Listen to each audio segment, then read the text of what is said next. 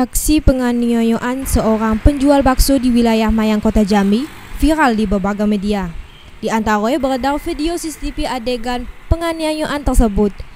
Di tengah viralnya insiden Niko, dua karyawan apotika DA yang ada di sekitar tempat kejadian perkara berhenti kerja.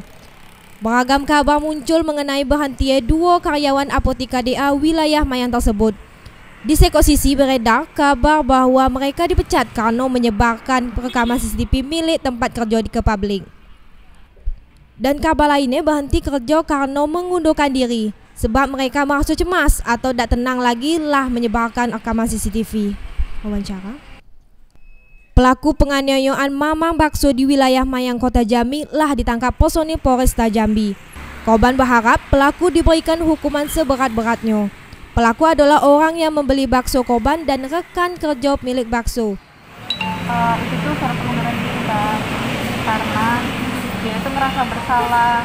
Soalnya kan CCTV dikasih perusahaan hmm gitu mbak ya.